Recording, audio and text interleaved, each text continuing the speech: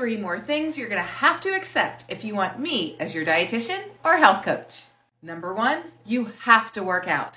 I've been hearing way too often lately that people are too busy to work out because of their work schedules. But if you're really serious about your fitness goal, you have to exercise. When I was in a calorie deficit, I was exercising five days a week losing one to two pounds per week consistently.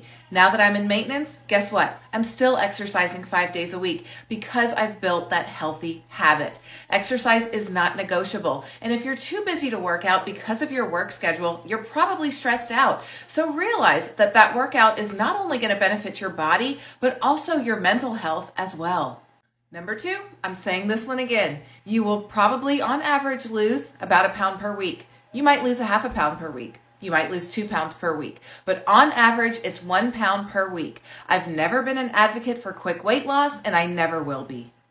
And number three, it might take you three or four weeks to start losing weight. That's totally normal. Some people start losing weight right away, others could take a month. We never really know. I always say we have to find the right key that's going to unlock that door. But once we do, you're going to start seeing results and your motivation is going to increase.